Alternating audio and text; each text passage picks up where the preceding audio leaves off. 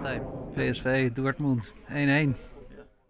Nou, PSV heeft de controle gehad, maar uh, ja, als je door wil in de Champions League moet je vaak je eigen thuiswedstrijden winnen. Nou, het ging mij vooral om dat ik controle over de wedstrijd wilde hebben. Wat de eerste helft vond ik niet helemaal lukte. En toen kreeg je eigenlijk een wedstrijd te zien die ik liever niet zou zien. Hè. Dus met, met, met heel veel omschakelmomenten. Die hadden wij een aantal hele goede. Waar we misschien ook meer uit hadden kunnen halen. Maar die hebben zij ook. En zij zijn dat gewend. Zij zijn een ploeg die vanuit die omschakeling vaak speelt. Dus zo'n open wedstrijd heb je liever niet. PSV had hier moeten winnen. Alleen uh, ja, ze hebben weinig kansen gecreëerd. En uh, ze hadden de controle over de wedstrijd. Maar ja, de controle over de wedstrijd is iets anders dan uh, genoeg kansen creëren om een wedstrijd te winnen. En dat heeft PSV nagelaten, ondanks een aantal aardige kansen in de eerste helft. Nou, ik, ik vond ze ook niet zoveel naar voren spelen. En uh, de, de, flanken uh, Lozano en uh, Bakayoko die gaven gewoon niet thuis. En These gaf niet thuis met zijn voorzetten en Dest ook niet. En ja, de man die het hier moet doen, dat is Luc de Jong. En die is nauwelijks in stelling gebracht. dus dat is, dat is een wapen van ons wanneer je een Luc voor hebt staan. En de mogelijkheid met een These. Johan zijn actie één op één maakt. Het kan niet Zo. twee man, dan legt hij hem terug en dan moet Jordan die voorzet geven. Dat is een kwaliteit en een wapen die we hebben. Ja, vandaag uh, is Luc uh, wat dat betreft niet, niet vaak in stelling gebracht, nee. Ja, dat, dat is wel de bedoeling dat, dat hij de kansen krijgt. En hij heeft één kans gekregen. Dat was een cadeautje van de scheidsrechter. Nou, die benut hij dan uh, feilloos. En daar, daar staat hij dan op dat moment ook voor. En dan neemt hij zijn verantwoordelijkheid. Maar voor de rest heeft Luc de Jong geen enkele kans gehad. En ik vind het uh, een prima spelopvatting uh, wat uh, Borst erop nahoudt. Met Jerry Schouten in, in de laatste linie en geen Ramaljo en dan Veerman op nummer 6. Met Jerry Schouten achter is het natuurlijk wel,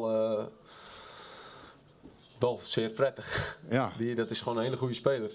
Ja. En ik denk dat we vandaag met uh, Boskagli, Thierry en ik, ja, zeg maar dat driehoekje achterin, dat we, dat we dat vrij goed onder controle hadden. Dus er waren wel, uh, wel, wel goede mogelijkheden. Want we hebben een paar keer dat we met deze aan de zijkant uh, echt wel doorkwamen. En dat die voorzet net niet aankomt.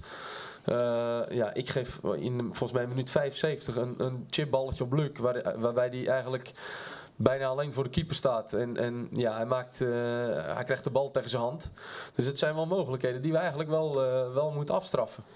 En ja. dat, uh, dat hebben we wel nagelaten. En dat kunnen we ons wel aanrekenen. Ja, ja je komt niet tot heel veel kansen in die, uh, in die opstelling met Sabari en Tilman op het middenveld. Het zijn twee uitstekende middenvelders. Maar ze zorgen niet voor uh, de creativiteit die Veerman wel heeft op het moment dat hij samen met Schout op het middenveld speelt. Ja.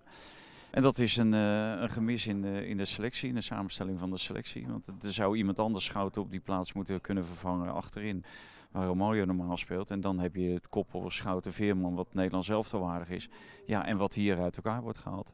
Ja, uh, dan moeten we nog even over de penalty hebben, denk ik. Het is eigenlijk een, een onterechte penalty, maar een terecht resultaat. Ja, ja dat is een, uh, een mooie samenvatting. Want uh, ik, vond, ik vond het ook geen penalty. Hij raakt gewoon eerst vol de bal. Ja, en dan uh, Tilman die, die, die valt dan half. En ja, je, je moet jezelf afvragen of dat kwam door uh, Mats Hummels. Ja, was absoluut geen penalty. En dan vraag je je af, ja, waarom zit die VAR hier eigenlijk? Uh, die, die ziet dat toch ook. En ja, als je de bal speelt en je krijgt dan al penalties tegen in het 16 meter gebied, ja, dan uh, wordt het wel heel moeilijk verdedigen. En uiteindelijk ontsnapt de Hummels nog. Want voor hetzelfde krijgt hij nog een gele kaart en is hij gewoon geschorst voor, de, voor de return. Ja, wat dat betreft zat de arbitrage voor PSV vandaag helemaal niet tegen. Wat moeten ze doen over drie weken? ja, winnen. Dat is het enige wat telt. Maar uh, ja, dat zal moeilijk zat worden. Want de, de, selectie is gewoon niet breed genoeg, kwalitatief dan. Achterin mis je een goede voetballer, een goede opbouwer, waardoor Schouten naar achteren moet.